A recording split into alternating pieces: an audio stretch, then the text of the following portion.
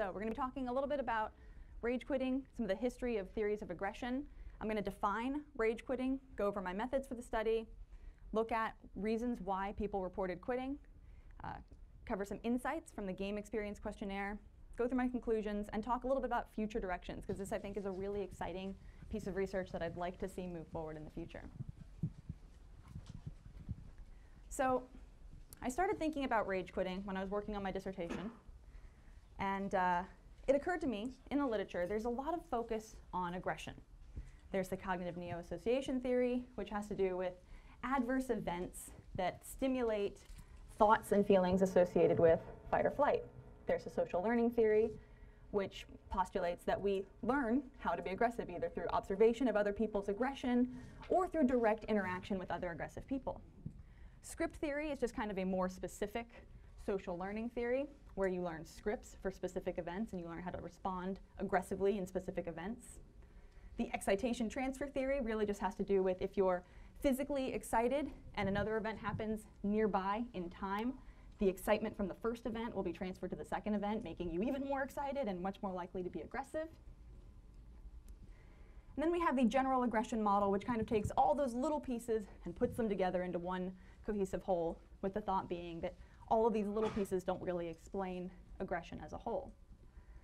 And I was thinking, you know, none of these theories really explain aggression in video games, specifically rage quitting. All of this is a good starting place, but it doesn't really get at why players rage quit, what fuels it, and what motivates it.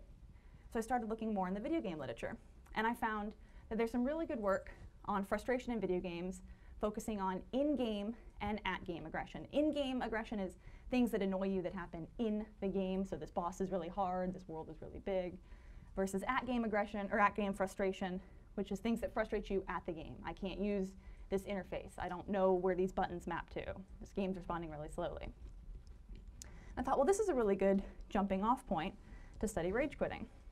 So I put together a survey asking people all sorts of in-game and at-game questions about their rage and I threw the survey up online at uh, Texas Tech. So, what is rage quitting?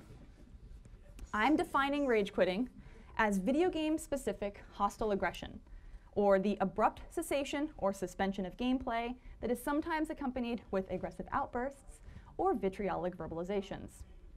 So, this is a rage quit. This was the definition that was provided to the undergraduate students who participated in my survey. So as I've mentioned before, this was a survey. I collected 254 pieces of data from Texas Tech University undergraduate students aged 18 to 27. Uh, these students were participating in uh, introduction to psychology, so they have to do a certain number of research credits. So these were intro students. 54% uh, of the respondents reported having rage quit within the last year. 64% of those respondents were male. Uh, the average length of play is 30 minutes to three hours for these particular respondents. And I collected some data about how much experience they had playing games. But there were some limitations to the way I collected this study that I'd like to, that I'd like to go over now. First off, it was a survey. Uh, and the, the data got really messy because there are lots of, has this ever happened to you? Yes or no? And if no, then they skipped a whole series of questions. So I had uneven ends all over the place. So I had to control for n a lot while doing my data. Also, this is the first survey of its kind. So there were some questions that maybe weren't phrased the best. I didn't quite get it what I was hoping to get at. So it's very much a learning experience. Also, because the data came out of uh, Texas Tech, uh, as you may or may not be familiar with Northwest Texas, they're very polite. So there were often times in the survey where I asked for participants to describe a particular event. Tell me what somebody said to you that made you really angry. And I got things like, they were mean, they made me sad, they said rude things. It's like, wow, great, thanks guys. So another limitation of the study, but that's okay, I still got some really excellent data. So first off, how often do players rage quit? Is this really a problem even worth investigating? So I've got this data split up by total males and females. And in the males and females category, I've controlled for the different, uh, the different ends, the uneven ends, because we had less females uh, than males. Now, the majority of players, it would seem, quit sometime between rarely and sometimes. Now, this is really a couple times a year. Rarely is a couple times a year, sometimes is a couple times a quarter. Never is obviously never. Often is about every, every other month or so, and then all the time is participants who reported rage quitting about once a month or more. Now, it's hard to see from this, but males just slightly edge out females in rage quitting a little bit in rage quitting, although it was really close. It was very, very close. then I broke it down by genre. What genres are people rage quitting the most? And controlling for N, again, we see that males are really rage quitting first person shooters quite a lot. And they're rage quitting more than females. And this is even controlling for the differences in N. So more males are playing first person shooters, but more males are also rage quitting first person shooters. Something I found very interesting more females are quitting racing games than males are, even controlling for the differences in N. Just an interesting piece of data because it was a survey. I didn't get the chance to ask the interesting questions of what is it about racing games that makes you so angry? Why? Could you tell me a little bit about this experience? So it's definitely something I'll be doing in the future. And what is the impact of rage quitting? What happens when a player rage quits your game? Well, the majority of players are going back within about a week. Most of them the same day, another large chunk less than a week. But there is a non, there, it's not an insignificant portion of the population that's taking one to three weeks to return to the game, or more than three weeks. That's a long time away from your game. And what happens when they're not playing your game because they were so angry? They're going online, they're saying really awful and aggressive things about your game, they're trying to convince other people how terrible your game is. This is not a cool period of time. People are being really aggressive and hostile towards your game, trying to ruin other people's experience. And then there, there was a percentage of the population who reported never going back. Like, I am done with this game forever. Some of these people were a little dramatic and reported that if they fail more than twice, they never go back. Um, so life's going to be interesting for them. But now, why do people rage quit? Looking more specifically at the in-game and at-game factors. And I also included social predictors of rage quitting because I, uh, I felt it was important to look at the social impact of gaming as well. Because sometimes, you know, that social influence will make you more or less aggressive depending on what's happening. So in-game frustrations, as I've mentioned, have to do with the complexity of the world or the game, the size of the world, confusing dialogue, really difficult enemies, feeling cheated. And now I had a lot of questions, like 80 questions in each of these sections, so I'm not going to go through all of them. I'm just going to highlight some of the more interesting ones. The majority of players reported rage quitting the most when the time that they spent didn't match the reward they got. And this reward could have been either an in-game reward, like an item, a really cool drop, or it could just be that feeling of achievement. Like, hey, I worked really hard and it feels really good that I got past this boss. So the, the majority of players reported quitting the most when they spent a lot of time and didn't feel like they got anything out of it. Similar to spending a lot of time, another large chunk of players reported quitting when they couldn't solve a puzzle. They just can't move forward. They tried, and they reported trying for days. And that was something that I found very interesting because I, I did ask them, how long will you try before you rage quit when solving a puzzle? The majority of players reported that they will try for up to 15 hours before saying, I'm done with this puzzle. I hate everything about this puzzle. It's only, it's a very small percentage of the population that's like, I try for an hour and then I go online and I'm angry and I'm mad and I'm over it. So the majority of people really are persistent in trying to solve this puzzle. Then we have a, a large percentage of people who will quit when they're killed by a boss, and a slightly smaller percent that will quit when they're killed by a non-boss enemy, which I think we can all agree is really frustrating. Then I had players rank from 1 to 8 the most frustrating events. So I had them report on events they'd quit on in the past and then rank from 1 to 8 their most frustrating events. And numbers 1, 2, and 3, not being able to solve a puzzle, being killed by a non-boss enemy, and being lost in the world were all very similar statistically. It was hard to parse those apart. Then we have low drop rates, not being given hints on how to proceed when stuck, being killed by a boss, when the game is just too hard for your skill, or when the rewards aren't worth the work you did for them. And these, these rankings actually correlate pretty well with the amount of times people responded quitting to different in-game events. This one maps on pretty cleanly. So this was pretty interesting. What we see here is the number one reason that, or the number, number one most frustrating factor that players encounter is not being able to solve a puzzle. And I asked players, you know, did the game give you hints? Was that hint useful? Did the game mock you? The majority of players said that actually, yeah, the game did give them a hint, but it wasn't really helpful. Um, a, a very small amount of players uh, reported feeling mocked by the game in their failure, and that that was sort of what drove them to quit. But it was a pretty insignificant number of players. And then that being killed by a non-boss enemy. This is where it got really interesting. Follow-up questions for being killed by a non-boss enemy.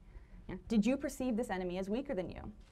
Like 74% of players said, yes, I perceived this enemy as being weaker than me. It should not have killed me. And then I asked, was there something you could have done to get stronger? Yes. Could you, could you have spent more time? Could you have leveled up? Yes. Did you? No. Why? Didn't want to take the time. So we see here again, coming back to time, not wanting to spend that time. So now let's look at at-game frustrations. These are frustrations surrounding the game UI. Difficult button combinations, poor mapping, an inability to use the system because of a disability or a physical limitation, or just general confusion in how to progress through the game. So here we see the, the, the, the reason with the most rage quits is slow responses. This is that I totally pressed jump and didn't jump. I pressed it, you didn't jump. I know this happened, I'm done with this. That slow response. Prior knowledge has to do with the game expecting you to know information that it didn't teach you. A lot of players reported getting early, getting frustrated very early on in a game because they just didn't know what they were supposed to do and the game assumed they did. And then difficult controls. Again, with difficult controls, I asked players, was there a way to remap these controls? Again, like 90% of players said, yes, there was a way to remap these controls. Would remapping the controls have solved your problems? Yes. Did you do it? No. Okay, so that's great. That's nice. So they're frustrated with the controls. They can remap them. They don't. And again, I had them rank at game frustrations. We see the number one most frustrating thing for players is when the game does not respond as expected.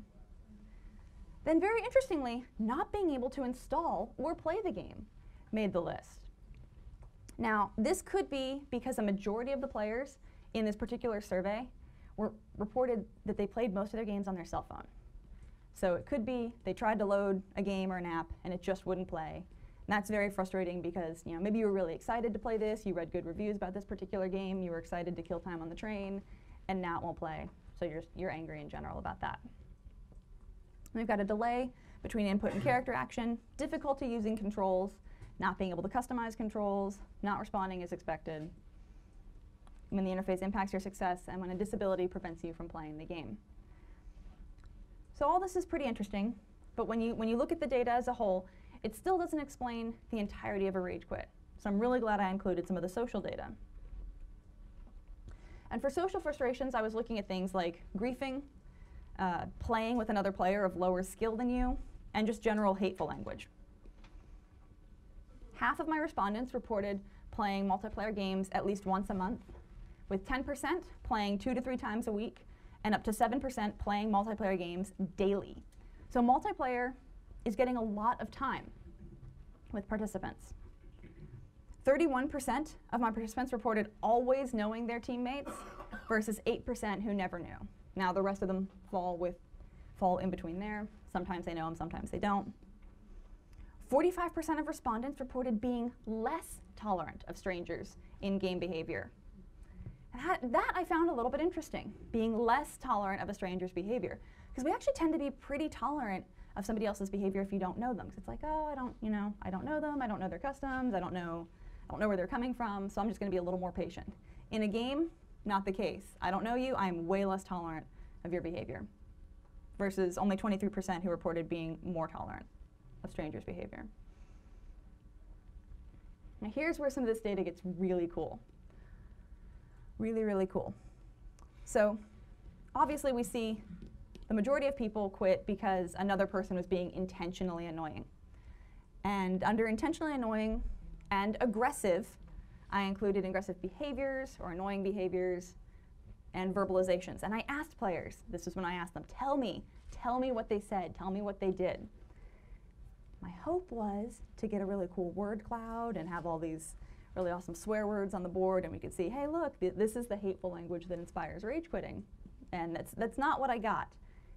With the exception of one word that everybody was perfectly comfortable reporting causes them to rage quit, YOLO. so right now my word, my word cloud consists of YOLO right in the middle and then curse words, mean things, made me sad. Okay, but YOLO, very frustrating. Another thing I found very, very interesting here. A not insignificant portion of the population reported rage quitting because a player was better than them. Another person was better than them and it made them quit. And I was thinking about this. It just seemed weird to me. Why would you quit because somebody else is better? Uh, okay. Um, and there, there's I, I came up with two possibilities for this. One has to do with the perception of cheating. So if, this, if you think that that person is cheating and that's why they're better, you'll respond aggressively to that. The other comes from uh, Baumeister. Baumeister is a social psychologist, and he, he postulated that when a person has a high self-esteem, a very high self-esteem, when something threatens that self-esteem and their positive self-image, they respond aggressively. And I don't have the data from this, but I'd like to get it in the future. I'm wondering if these people who reported rage quitting when somebody else was better than them also had really high self-esteem and they thought, I'm really awesome at this game. What do you mean somebody else is better? Unacceptable. Unacceptable. And so what happens when something threatens your self-image? You get angry, you get aggressive, you rage quit. So pretty cool possible explanation.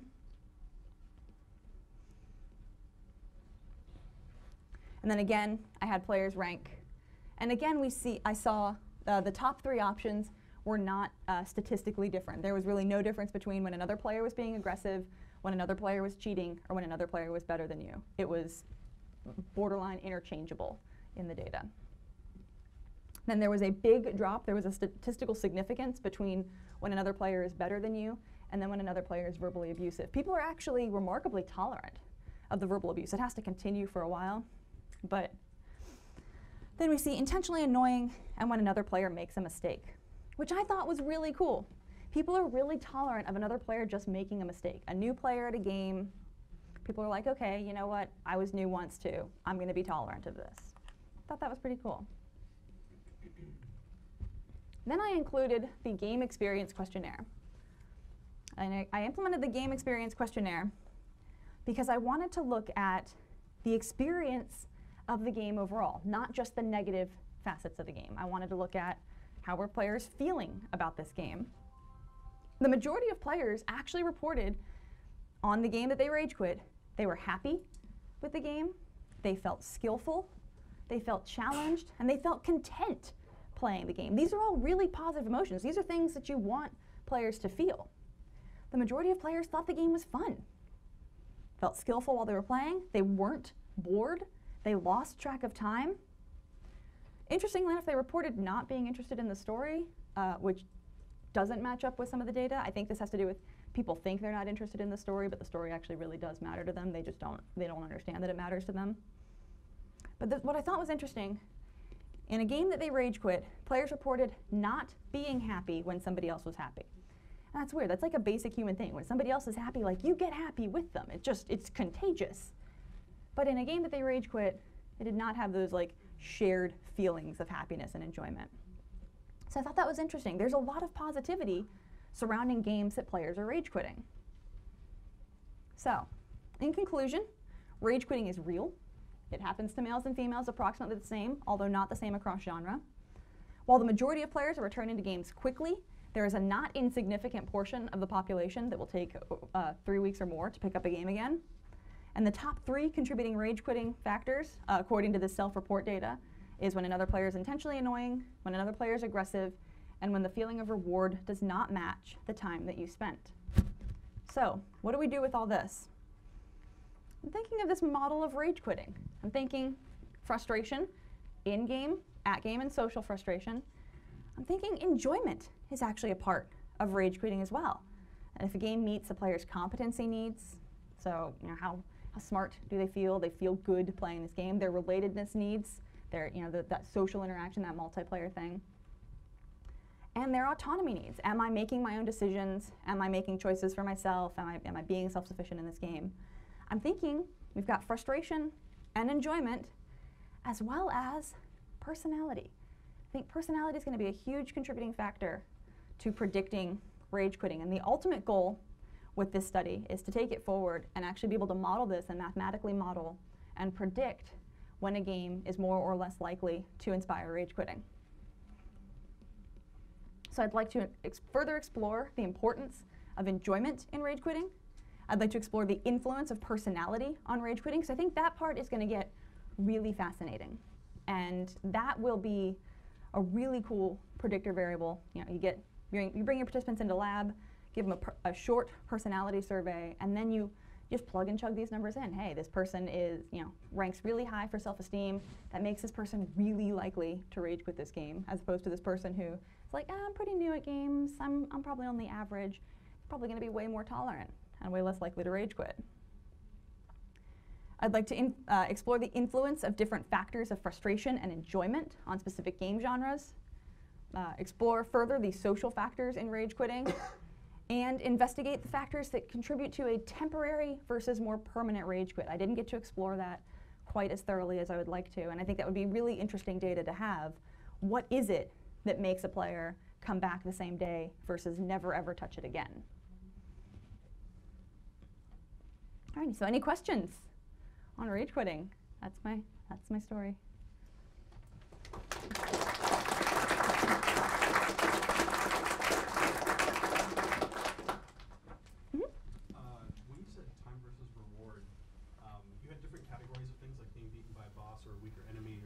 Mm-hmm.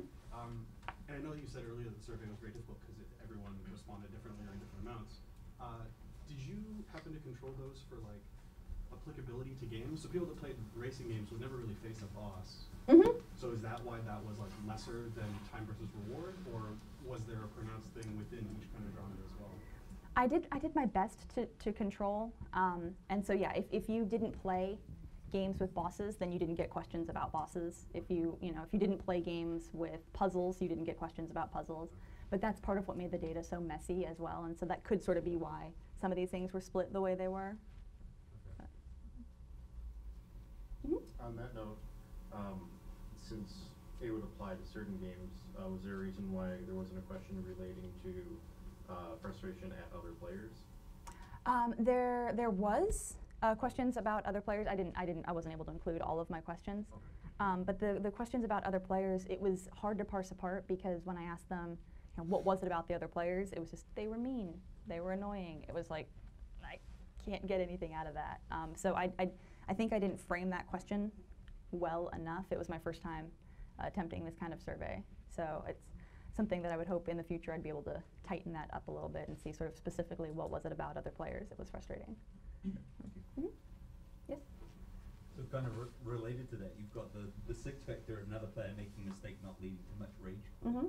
But surely that must be related to raging at other people. Like you get angry, but you don't quit. You just rag on the other person because this is very similar to, uh, say, uh, road rage, where because games are very similar. You're depersonalized from the person, you don't have mm -hmm. much mm-hmm. contact with them, and you've got this fundamental attribution bias, which is where people make mistakes, you're more likely to attribute it to them as a person rather mm -hmm. than the situations around them. You're not going to see that, and you're not going to see it as a mistake. You're mm -hmm. going to see it as something really aggressive. So, like you said, 45% less tolerance to strangers. That actually seems low. You'd think that was higher because we do have a tendency to view other people much harsher than we view ourselves.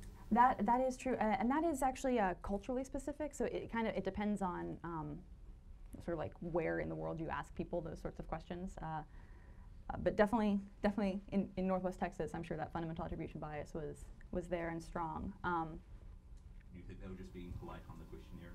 know, Almost I'm- certainly. I'm tolerant of strangers because that's what's expected of me, but actually, when they're sitting in front of a controller, not so much. Almost certainly. Again, um, another limitation of the study is, you know, when you ask people to self-report, they want to be perceived as nicer than maybe they really are, a little more tolerant than they really are. Um, so that was almost certainly a factor. I would like to, in the future, be able to sort of actually manipulate different aspects of a game and maybe actually watch people play games and watch people rage quit, where people can't tell me, oh no, I'm really, really tolerant to this, when in reality, maybe not so much. So, so that was almost certainly a factor. I mean, it would be really interesting to see the factors that uh, go towards getting angry and abusing a person, so staying in a game and abusing another teammate, and factors that make you angry Mhm. with yourself. hmm That, that, that actually would be really fascinating to look at, what makes you stay and, and grief versus just leave the game. That would be really fascinating. If you think about it, it's actually pretty remarkable that I had 45% of people report being less tolerant. So that's, I think, I think that, that speaks highly to the fact that people are maybe not very tolerant of other people's behavior in game. To Mhm. to the fact that, you know, people hide behind anonymity, being able to actually express themselves virtually, uh, which is different in a social environment where you have to put on that mask to, you know, you know, be part of the norm. hmm Oh, and almost certainly. I mean, it, when you're playing online with somebody, you don't have to see the tears you cause. so you can you can be as mean as you want, and it just it doesn't matter because you back out of the game, and then it's fine, and they never know you, and you don't have to see that look of sadness. Whereas face to face, it's much harder to be mean to another human being. Much much harder. I'd like to believe that it's much much harder to be mean to another human being face to face. So, but so certainly that anonymity and being on um, that sort of being detached from the person that you're interacting with possibly contributes to aggression. Hmm. Mhm. Uh, so, uh, you uh, one of the slides that said that a large, very large proportion of people, uh, reported being frustrated in regard to people that would be intentionally annoying. Mhm. Um, so, can you speak a little bit to like, what exactly that means? Because I think, because that's obviously more so like a person, because obviously you don't know who that person is anon- anonymity. Mhm. So is that just like a perception? Obviously, it's a perception that would be intentional. So Well, are there like certain words that? Well, there's there's that one is their their own perception that somebody's being intentionally annoying, but I, I included examples of behaviors that sort of as a whole the gaming population agrees is really annoying behaviors. You know, like like if you're in a co-op sort of game, not acting cooperatively, just like running ahead, starting all the events and leaving your team behind to die. Um, you know, a little Leroy Jenkins action. You know, we've worked really hard to plan this, and now you're just going to run in and ruin everything. Those sorts of behaviors is what I was trying to have people think of. Now, again, self-report, and they may have not entirely understood questions, could have could have biased some of that data. But I tried to give pretty clear examples of what was intentionally annoying behavior. Alrighty, and if you have any more questions, feel free to talk to me uh, later. I'll be around all day. So thank you.